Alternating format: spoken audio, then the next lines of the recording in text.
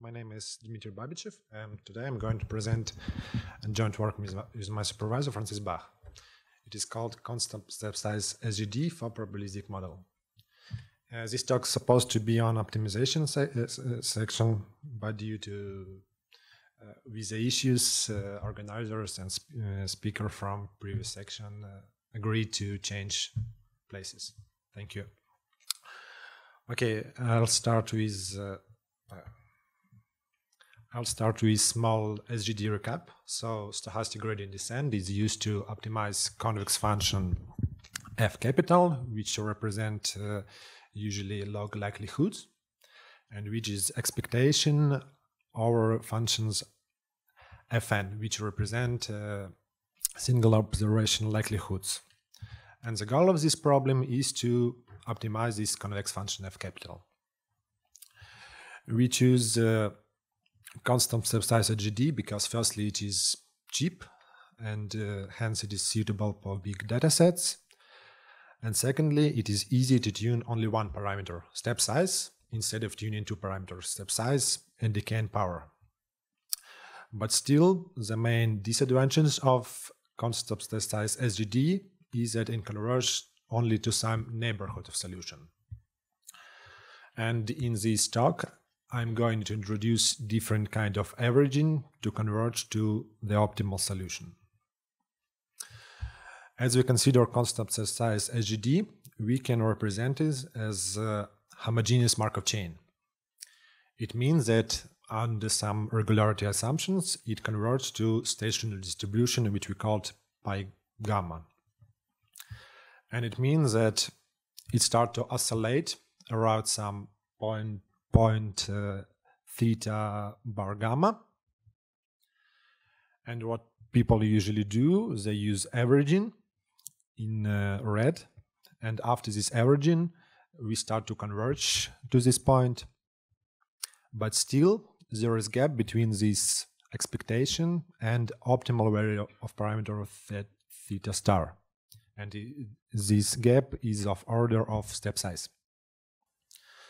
Now let's look at uh, step size uh, gradient step equation on the above and take expectation both our parameter theta and our data x.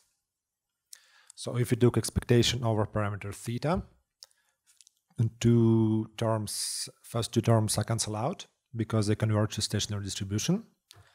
And by definition, expectation of Fn is F capital. So we get so-called stationary equation.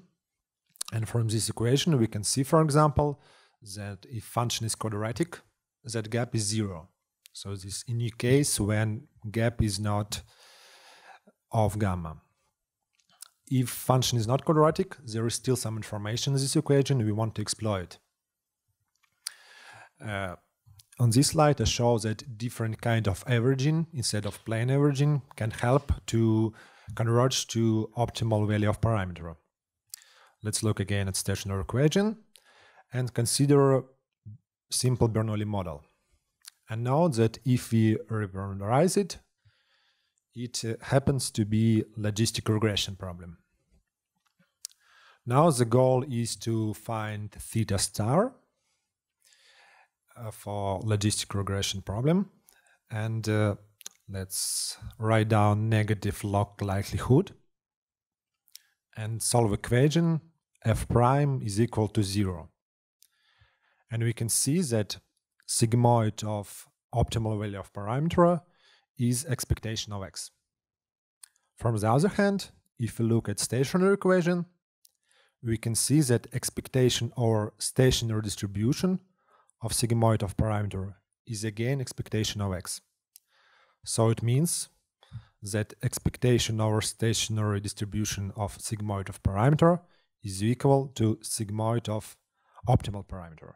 So averaging over sigmoid of parameter instead of averaging over parameter helps us to converge to optimal value.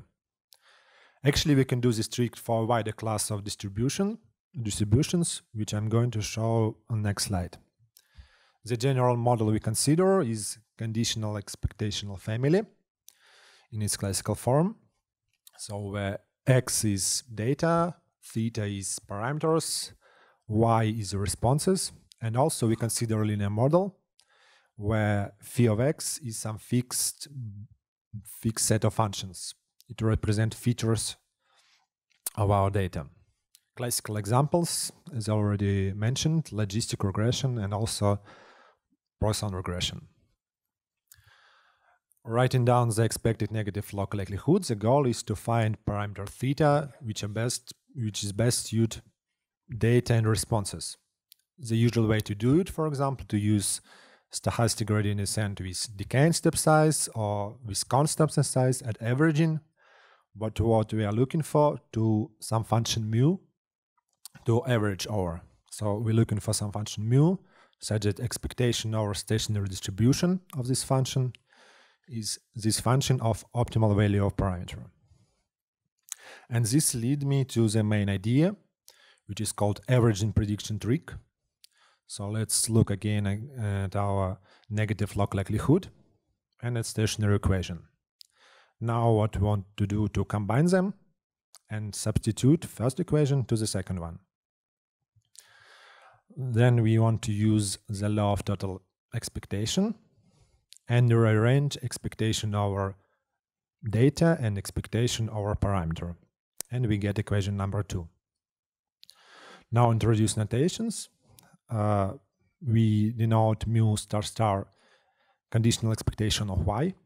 And in few, few minutes, you'll see that it is very good uh, function actually. It is global minimizer in a wider class of functions. And we introduce notation of prediction functions, mu of x. And now our equation can be rewritten in the form of equation number three.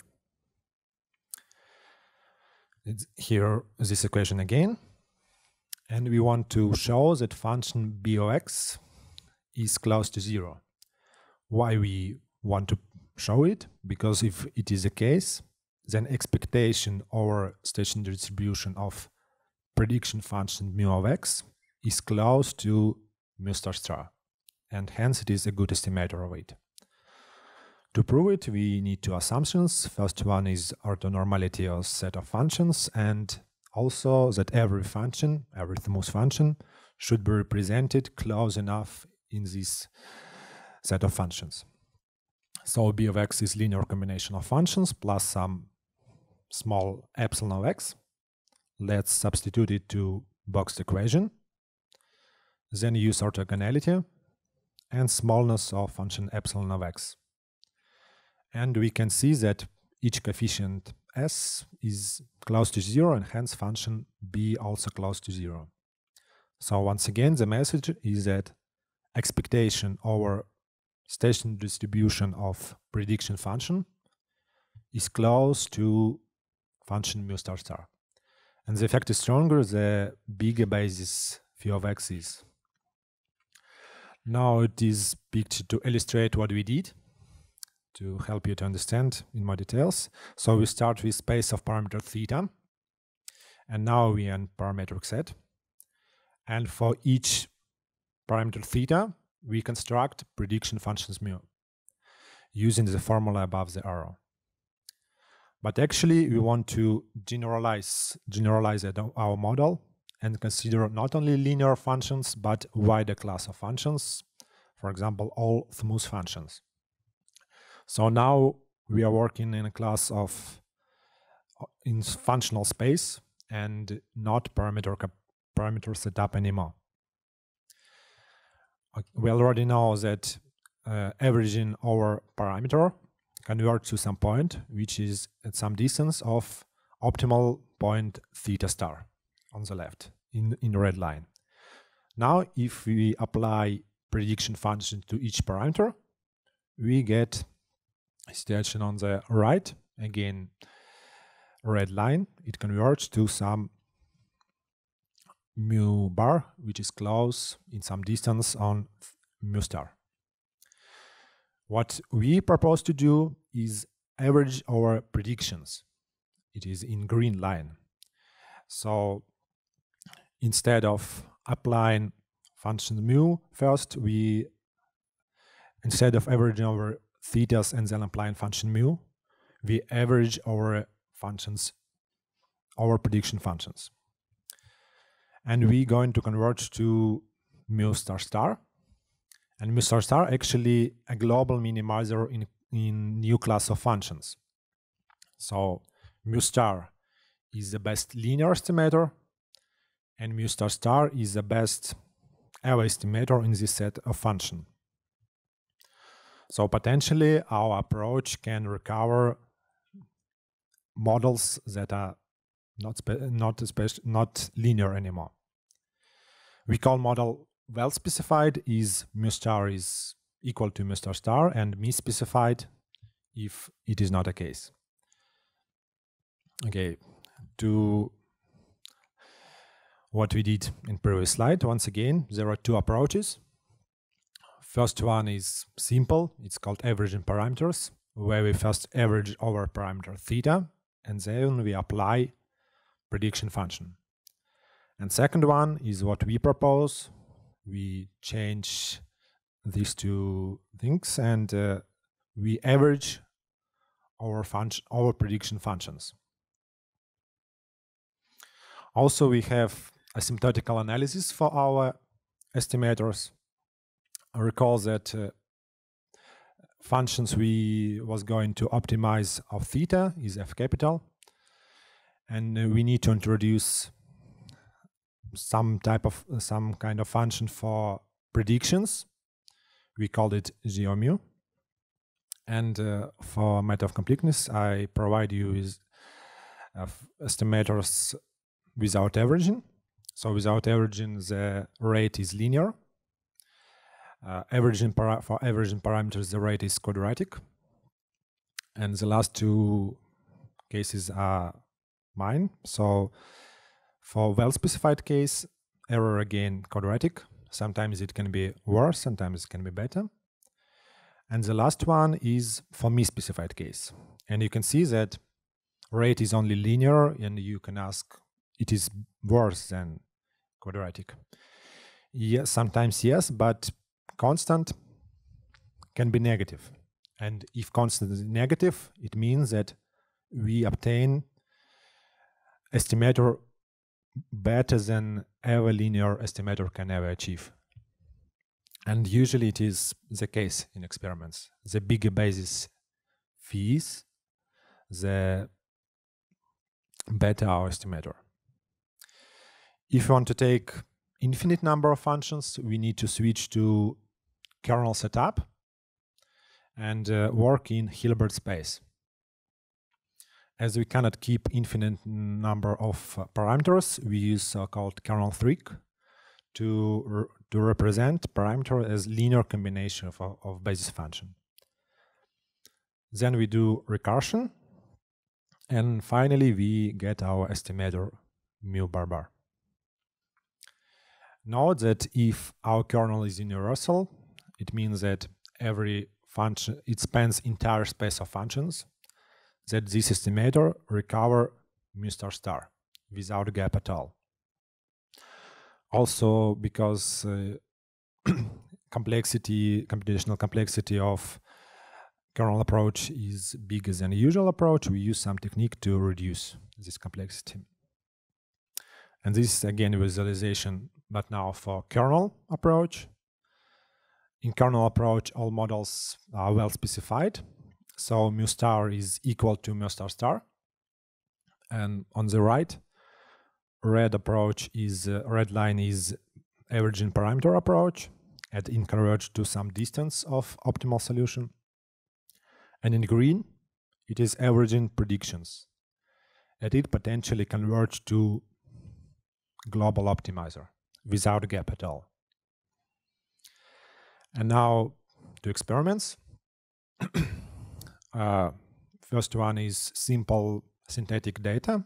So we consider two-dimensional X and uh, logistic regression response. The model is uh, no, the model is misspecified because it is sum of sinuses, and basis phi of x is just x. And we can see in red line, it is approach without averaging. It converts pretty bad. in green line it is averaging parameters and in black line it is averaging predictions and it better than usual averaging.